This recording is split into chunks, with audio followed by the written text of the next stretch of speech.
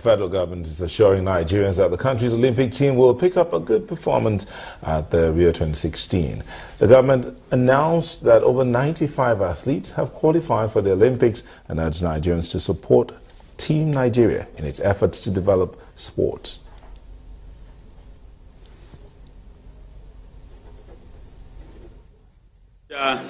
And feature prominently in 2016 Rio and will return with flying colors. That one I know.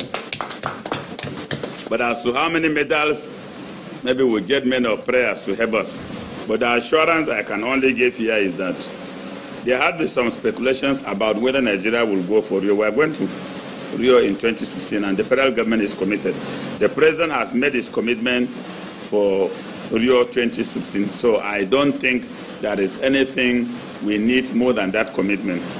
For funds, we are sourcing our funds as it is expected, and uh, we will definitely uh, move when it is time to move. Then the scattering of athletes and are not in camp.